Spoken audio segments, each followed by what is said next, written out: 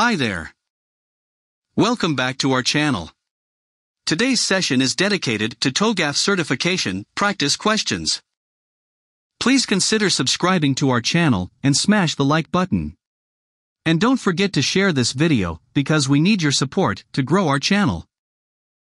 Please do watch this video till the end. Let's get started with TOGAF introduction. What is TOGAF? TOGAF is an architecture framework. TOGAF provides the methods and tools for assisting in the acceptance, production, use, and maintenance of an enterprise architecture. It is based on an iterative process model. Supported by best practices and a reusable set of existing architecture assets. Now, let's try to understand how TOGAF 9 exam is organized. The Open Group has categorized TOGAF into two parts. Depending on the level or type of certificate you opt for. TOGAF 9 exam is divided into two parts. That is, TOGAF Part 1 and TOGAF Part 2. In TOGAF Part 1 exam, you have 40 question with time limit of 1 hour. In TOGAF Part 2 exam, you have 8 question with time limit of 1 hour 30 minutes. You also have an option to take both Part 1 and Part 2 as combined exam. In that case, you have 48 question with time limit of 2 hour 30 minutes. Let's go through TOGAF practice questions and answers. In which phase the architecture contracts are prepared? The option are Phase F Phase G. Phase A or in the preliminary phase. The correct answer is Phase G. The following steps are completed in implementation and governance phase. Provide architectural oversight for the implementation. Prepare and issue architecture contracts. Ensure that the implementation project conforms to the architecture. Which one of the following statements best describes TOGAF? TOGAF is a tool for developing only technology architectures only. TOGAF is a framework and method for architecture development. TOGAF is a business model. TOGAF is a method for IT governance. The correct answer is TOGAF is a framework and method for architecture development. TOGAF is both an architecture framework and a method for architecture development. It is a tool for assisting in the acceptance, production, use, and maintenance of enterprise architectures. Which one of the following best describes why you need a framework for enterprise architecture? A framework can speed up the process. A framework ensures more complete coverage. A framework provides a set of tools and a common vocabulary. All of the above. The correct answer is all of the above. The purpose of enterprise architecture is to optimize the process across the enterprise. It help in integrating the fragmented legacy processes. A framework also supports the delivery of the business strategy. Which of the following types of architecture is not one of the domain architectures that is produced by the TOGAF ADM process? Business architecture, data architecture, application architecture. Pattern architecture. The correct answer is pattern architecture. Pattern architecture is not one of the four domain architectures. However, the four domains are business, data, application, and technology architecture. Which part of the TOGAF document explain a number of architecture development phases, together with narratives for each phase? Part 1 Introduction. Part 2 Architecture Development Method. Part 3 ADM Guidelines and Techniques. Part 4 Architecture Content Framework. The correct answer is Part 2 Architecture Development Method ADM is the core of TOGAF 9. It outlined the TOGAF ADM cycle, a detailed step by step approach to develop an enterprise architecture. Which of the TOGAF architecture development phases includes the development of data and application architectures? The option are Phase A Architecture Vision Phase B Business Architecture Phase C Information Systems Architectures Phase D, Technology Architecture. The correct answer is Phase C. In the Information Systems Architecture phase, that is Phase C, the data and application architectures for an architecture project is developed. Which architecture content framework describe as a work product that is contractually defined, formally reviewed, and signed off by the stakeholders. The option are Artifact Building block Catalog Deliverable The correct answer is deliverable. A deliverable is a work product that is contractually specified and in turn formally reviewed, agreed, and signed off by the stakeholders. Complete the sentence. The enterprise continuum is an artifact, an architecture framework, a technical reference model, a method for classifying artifacts. The correct answer is a method for classifying artifacts.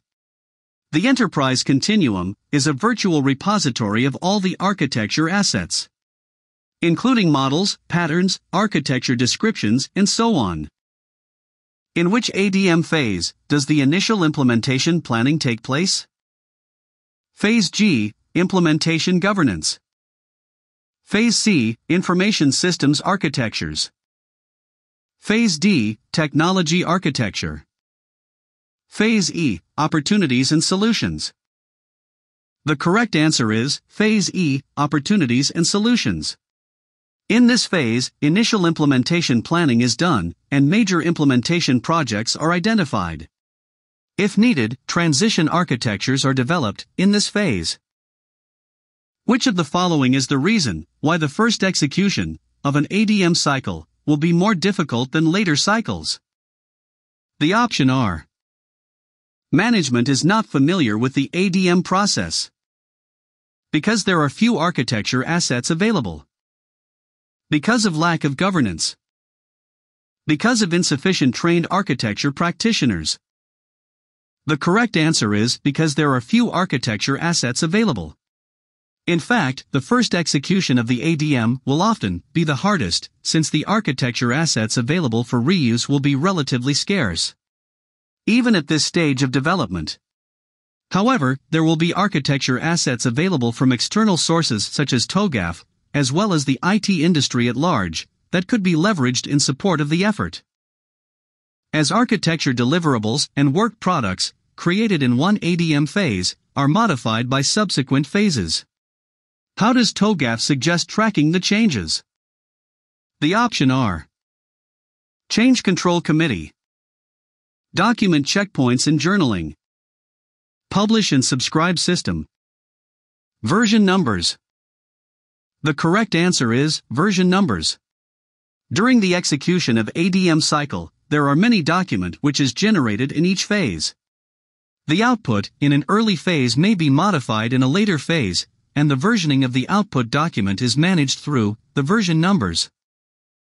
The architectures that address the detailed enterprise needs and business requirements within the architecture continuum are known as the option are Strategic architectures, Foundation architectures, Industry architectures, Common systems architectures, Organization specific architectures. The correct answer is organization specific architectures. The arrows in the leftward direction focus on meeting the enterprise needs and business requirements. Enterprise needs and business requirements are addressed in increasing detail from left to right. Which one of the following is described as a view of the architecture repository and provides methods for classifying architecture and solution artifacts as they evolve? The option are Architecture Landscape Architecture Governance Repository Enterprise Continuum Governance Log The correct answer is Enterprise Continuum. The Enterprise Continuum is a model for structuring a virtual repository and providing methods for classifying architecture and solution artifacts. Which one of the following represents the detailed construction of the architectures defined in the architecture continuum. The option are Architecture building blocks. Conceptual models. Foundation architectures. Reference models. Solution building blocks. The correct answer is solution building blocks. Solution building blocks are implementations of the architectures identified in the enterprise's architecture continuum. Complete the following sentence. Processing diagram are referred as. The option are Core Application Architecture Diagram Extension Diagram of Business Architecture Core Diagram of Data Architecture Extension Diagram of Technology Architecture The correct answer is Extension Diagram of Technology Architecture. The three category of extension diagram are processing diagram, networked computing or hardware diagram, network and communication diagram. Which of the following is not a dimension for limiting the scope of the architecture activity? The option are depth, time period, scope, breadth. The correct answer is scope. The architecture scope is defined by, four dimensions that is breadth, depth, time period, and architecture domains. Which of the following is not one of the four architecture domains that TOGAF deals with.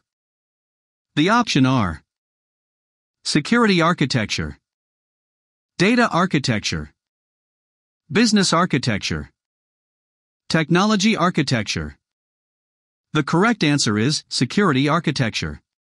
TOGAF deals with four architecture domain that is business, data, application, and technology architecture. Which of the following is not true about a viewpoint? The option are It is generic. It is where you are looking from. It is specific. It's a stakeholder view. The correct answer is It is where you are looking from. It defines the perspective from which a view is taken. Please do join us for next tutorial on architecture development method. Thank you for watching this video. Please do share your feedback and hit like button. Please do visit our channel. For more such tutorial videos on COBOL, CICS, JCL, VSAM, IBM Mainframe, TOGAF, and Microsoft Azure.